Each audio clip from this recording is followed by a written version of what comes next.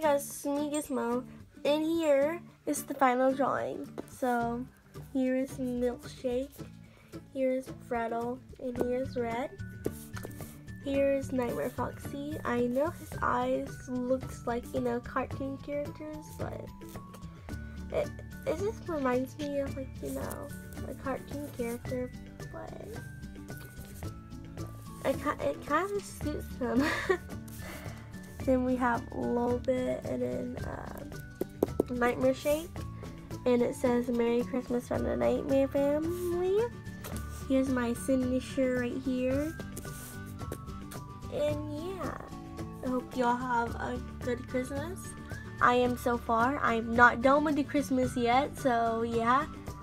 Um, y'all will be seeing a haul soon after this video. Probably like, I don't know, a few hours after the video.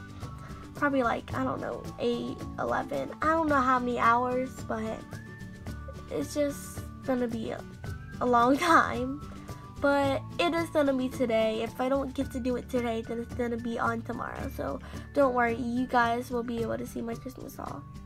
So yeah, Merry Christmas and a Happy New Year. Bye guys.